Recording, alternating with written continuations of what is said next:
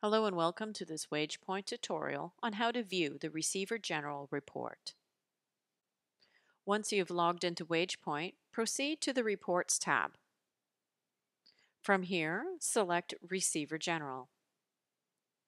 Within this report, you can query by pay group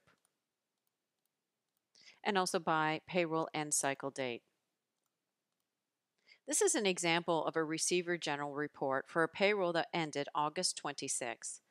You'll be able to see the employee's portion of income tax, CPP, EI, and any other deductions that are applicable, as well as the employer portion. In this case, we have CPP and EI. You'll see the total amount that is remitted to Canada Revenue Agency on the 15th following the month in which the amounts have been withheld. I'd like to take a moment and show you another report as well. If you go to the More tab and select Remittance Report, from here you can select the year that's applicable and run the report.